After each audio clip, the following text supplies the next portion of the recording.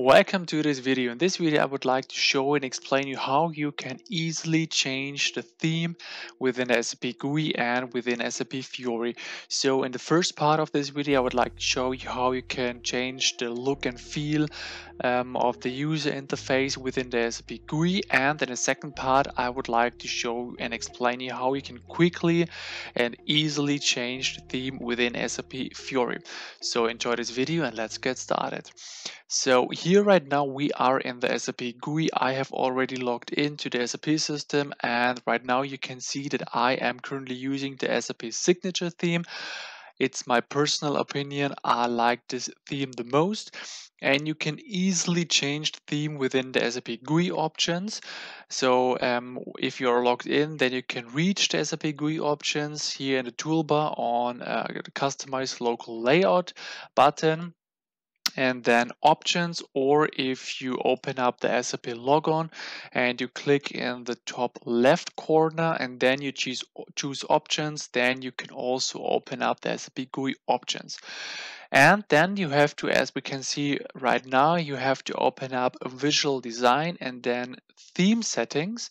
And then basically here you have one drop down and then you can change the theme to whatever you like to. So basically just uh, click this drop down and then for example click the theme that you like to and then after that you have to click on the yeah on the apply uh, button and then um, basically after you uh, restart the SAP logon um, then the theme will be changed. And then you see the selected uh, look and feel of the theme. And here for example as mentioned I am currently using the SAP signature theme.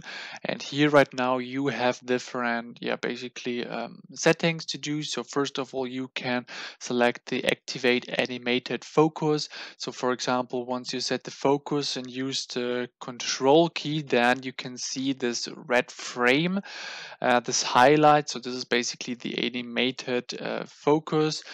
Um, you can also uh, select show shadow border. So for example, here you can see this kind of shadow border and you can use uh, the Corbu style icons. So different set of icons provided by the Corbu theme.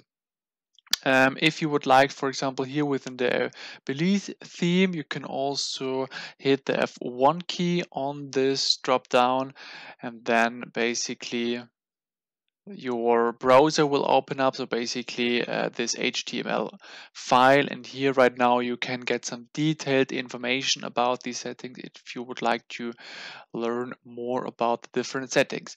Yeah but basically as mentioned so for example the Corbu theme just select it click on apply and OK and as mentioned after restart you can see the new theme so as you can see right now here I'm using the Corbu theme and yeah, this is now the outcome. I have restarted as a logon. This is really easy how you can change the theme within the SAP GUI.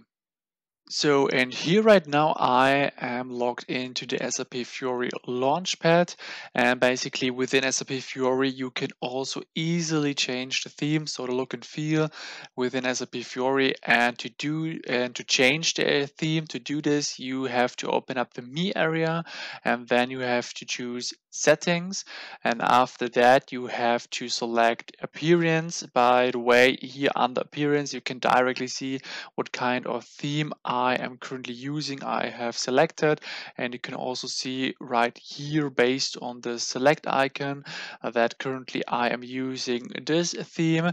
And if you for example would like to change it so for example to the SAP Quartz dark theme then just click on this on this theme and then click on the save icon and then you can see based on the pop-up your changes have been saved that your changes have been saved. And if you're now using the SAP Fiori you can see directly the change the changed and uh, newly selected theme. Uh, you can also at every time um, yeah change it back whatever you like to um, yeah what you like to. So this is really easy how you can change the theme also in SAP Fiori. By the way, if you would like to uh, create custom themes, um, I've uh, produced an own video. So right now here you can see some custom themes. I will link this video.